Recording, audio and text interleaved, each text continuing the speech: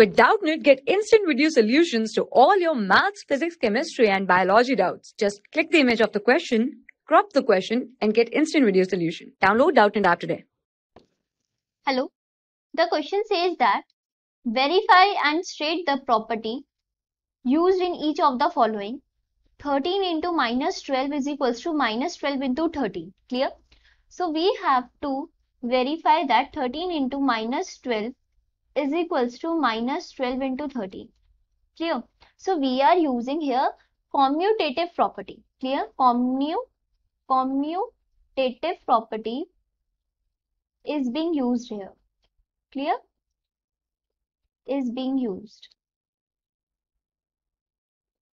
According to which A into B will be equals to B into A.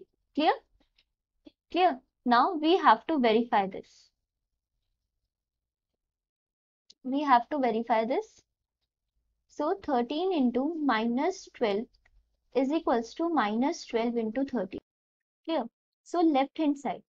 Left hand side we have 13 into minus 12. Clear? So we have to multiply it. Now we have to know that whenever a positive number is multiplied by a negative number, the answer will always negative. Clear? So uh, answer will be negative. Now we have to multiply 13 by 12. So 30, 2 3s are 6, 2 1s are 2, 1 3s are 3, 1 1s are 1.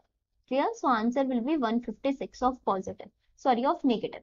So this will be minus 156. Clear? Now right hand side.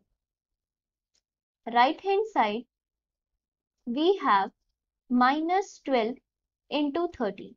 So whenever a negative number is multiplied by a positive number, the answer will always negative. So 12 into 13. 3 2s are 6. 3 1s are 3. 1 2s are 2. 2 1, uh, 1 1s are 1. So 156. Clear? The answer will be minus of 156. Clear? So hence LHS is equals to RHS is equals to minus 156. Clear?